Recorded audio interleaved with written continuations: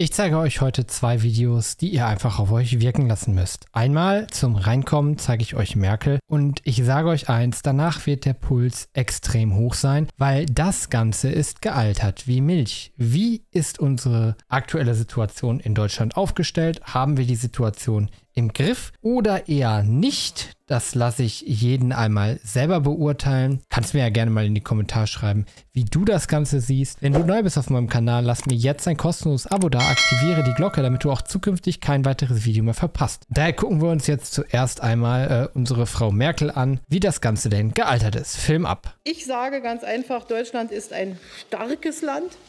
Und die, das Motiv, in dem wir an diese Dinge herangehen, muss, sei, muss sein, wir haben so vieles geschafft, wir schaffen das. Wir schaffen das und wo uns etwas im Wege steht, muss es überwunden werden, muss äh, daran gearbeitet werden und der Bund wird alles in seiner Macht Stehende tun, zusammen mit den Ländern, zusammen mit den Kommunen, genau das durchzusetzen. Ja, ich möchte euch nicht lange auf die Folter spannen. Es ist eine Katastrophe, wie es gealtert ist. Und daher gucken wir uns jetzt einen wirklich interessanten Menschen an, der Ahnung vom Islam hat und der uns zeigt, wie Integration funktionieren sollte, wie sie früher funktioniert hat und was aktuell schiefläuft. Film ab. Es haben sich auch viele Muslime integriert, aus eigener Kraft allerdings. Als Wer, individueller Prozess. Individueller sozusagen. Prozess. Und das ist das, was ich immer sage. Die Integration als staatliches Bemühen ist gescheitert. Die, die Migration hat früher so funktioniert, da kam der türkische Arbeiter, der portugiesische, der italienische, auch nach Amerika gingen viele. Und der Migrationsvertrag funktionierte so, ich zeige der Gastgesellschaft, was ich kann, welche Arbeit ich leisten kann und die Gastgesellschaft entscheidet, wie viel ich dafür entlohnt werde. Jetzt funktioniert es so, ich zeige als Neumigranten die, der Gesellschaft meine Wunden, meine Traumata und die Gesellschaft und die Grünen kümmern sich darum, dass ich für meine Wunden und meine Traumata entlohnt werde. Es gibt keinen Integrationsdruck auf die Neuzuwanderer. Früher war man vom Tag eins auf sich allein gestellt. Man musste arbeiten, man musste selbst für sich aufkommen und man musste seine Familie selbst versorgen. Jetzt kommt man und man ist sofort mit dieser Geisteshaltung mhm. gekommen. A, Europa ist mein Feind aus der Vergangenheit. Ich bin gekränkt wegen dem Kolonialismus, den ich selber nicht erlebt habe. Ich bin gekränkt wegen den in meiner Heimat. Ich bin gekränkt wegen des Nahen Osten-Konflikts und so weiter und so fort. Und jetzt muss diese Gesellschaft muss entschädigt werden mich, dafür, mich, mich, dafür entschädigen. Und das ist keine gute Voraussetzung dafür. Wenn der Staat selber solche Probleme nicht lösen kann, wenn die Polizei, wenn, es, wenn die Polizei nicht in der Lage ist, solche Probleme zu lösen und wir brauchen den Imam oder die Lehrerin mit einem Kopftuch, um einen Konflikt zu schlichten, äh, das ist ein klarer Indiz dafür, dass diese Menschen auch die staatlichen Institutionen ablehnen.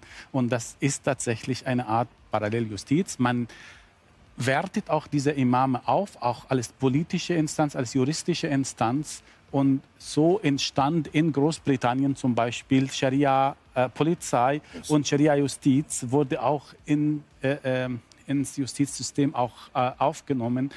Äh, das ist langfristig äh, katastrophal. Integration bedeutet nicht nur, dass ich die Sprache beherrsche oder dass ich eine Arbeit habe. Da haben auch viele Salafisten und sogar Christen auch das schon erreicht. Integration hat da gibt es eine Matrix. Wir haben die strukturelle Integration, tatsächlich spielt Arbeit da eine entscheidende Rolle. Aber Sprache auch. Natürlich. Sprache natürlich. Aber dann haben wir die kulturelle Integration. Dann haben wir die soziale Integration. Was für ein soziales Feld habe ich als Migrant? Ähm, mit wem äh, verkehre ich? Äh, und dann kommt die emotionale, identikative Integration, dass ich mit dem Land, in das ich eingewandert bin, verbunden bin, emotional äh, verbunden, das Land als das Mitte meines Lebens mhm. auch deklariere. Aber neuerdings haben wir das Phänomen, was es ja früher nicht gab, dass mit dem Handy in der Hand, in der Hand kommt ein Migrant hierher und ist sofort mit seiner ursprünglichen Heimat vernetzt. Alle Konflikte dieser Heimat äh, werden hier übertragen. Alle Reden des Präsidenten, sei es Erdogan oder andere, werden live mhm. übertragen mhm. und dann in türkischen Cafés dann werden sie so wie Fußballspiele dann irgendwie angeschaut und kommentiert. Und da ist man nicht mehr emotional hier im Lande. Man benutzt das Land nur als Plattform um vielleicht auch politische Ziele seines Heimatlandes irgendwie hier mhm. zu verwirklichen. Sie haben von Bringschuld gesprochen und Sie haben recht, natürlich. Ich bin nach Deutschland gekommen, ich kannte damals nur drei Worte. Ähm, äh, äh, ich habe kein Geld, äh, Scheiße und äh, ich habe Hunger. Sonst. Aber ich musste selbst die Sprache lernen, ich musste äh, damals gab es keinen kein Rassismusbeauftragte, keinen Integrationsbeauftragte, keine Gleichberechtigungsbeauftragte, all diese Sachen. Aber ich habe sofort verstanden, ich will Teil dieser Gesellschaft werden und ich muss dafür etwas leisten. Und eine der wichtigsten Leisten, und da scheuen sich viele Leute davor, eine dieser Leistungen war, ich musste mich von Teilen meiner ursprünglichen Kultur ja. trennen, um hier zurechtzufinden. Vor allem von diesen Teilen, die sich gegen dieses Wertesystem und gegen diese Kultur richten.